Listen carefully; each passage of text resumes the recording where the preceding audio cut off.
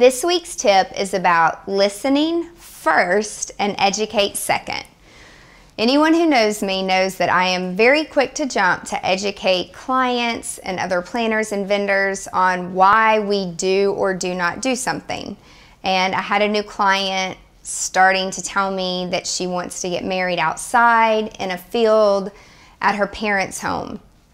And before she could even finish the story, I started to educate her to tell her, Are you sure you want to have it at a private home?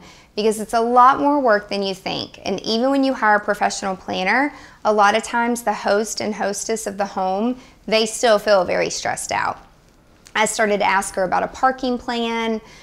I started to educate her on the cost of tents and floorings and air condition because it was going to be in the middle of summer. And all of these things that you have to have these things to build a structure, right? To have a good experience typically when you have a wedding. And 30 minutes into me educating, she said, but the reason that I want to have my wedding at my parents' home is because this huge tree that I want to get married under saved my family's life.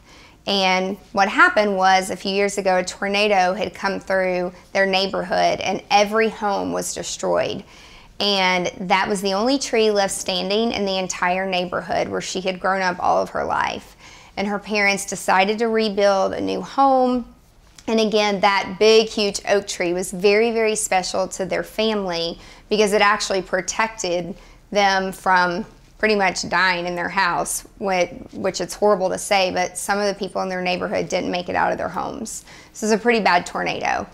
So I should have listened first and understood the significance of why she wanted to do that and I could have saved probably a good 20 minutes. But again, I still had to educate her on the cost of tents and flooring and air condition. It ended up being a beautiful day that day for her wedding, so we actually didn't need the tent. We still reserved it. They got married under the beautiful oak tree. All of their friends and family, including all the friends from the neighborhood, came, and it was a really, really special moment.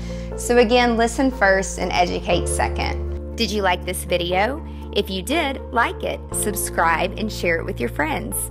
You can even leave me a comment, and if you have a wedding planning question, send it my way. If you want even more great resources to create a productive and profitable wedding planning business, plus some email updates from me that I only talk about in my email, come on over to my website, angelaproffitt.com, and be sure to sign up for email updates. Thank you so much for tuning in to Productive and Profitable Wedding Planning on APTV.